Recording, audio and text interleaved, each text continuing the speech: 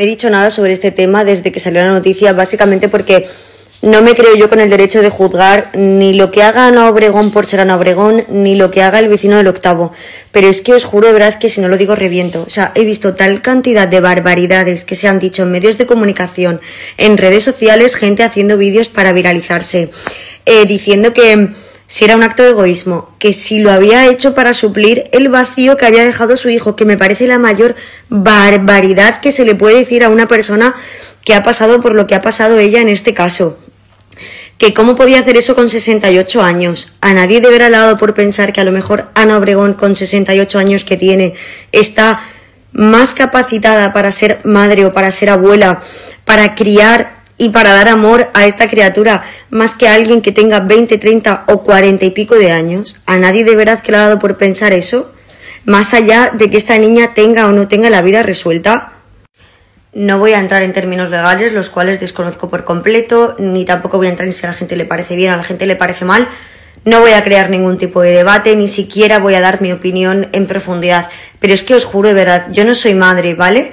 Pero soy hija y soy una persona a la cual está juzgada las 24 horas del día, los 365 días del año.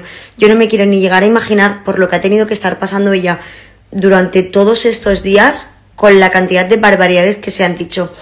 Y lo más heavy de todo es que mm, no es la única persona conocida, ni que ha recurrido a este método, ni digamos que las personas al menos que yo conozco eh, tienen edad de 20 ni de 30 y pico de años y lo que me parece heavy es que sea concretamente con ella que ha pasado por lo peor que una persona puede pasar, concretamente con ella con la que se haga este debate nacional y se juzgue de tal manera.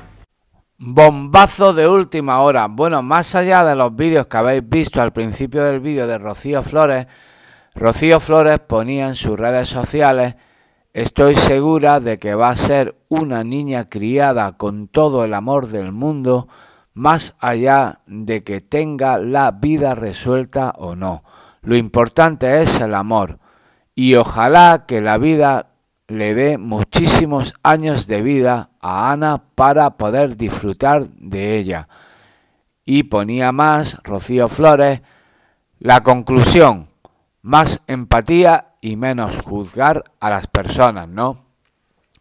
Que esto Evidentemente, pues bajo mi punto de vista, pues una indirecta que diría yo muy directa a Rocío Carrasco.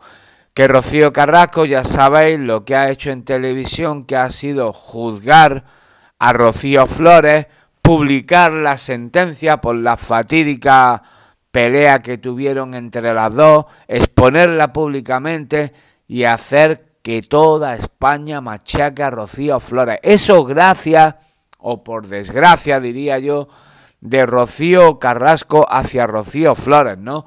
Por eso Rocío Flores dice, más empatía y menos juzgar a las personas. Una vergüenza lo que ha hecho Rocío Carrasco. Y por parte de Ana Obregón, pues desearle evidentemente, como hemos dicho desde el primer momento, todo, todo lo mejor para ella y para Ana. Comentad qué opináis, qué os parece la noticia, suscríbete si no estás suscrito en el botoncito rojo que es totalmente gratuito y máxima difusión.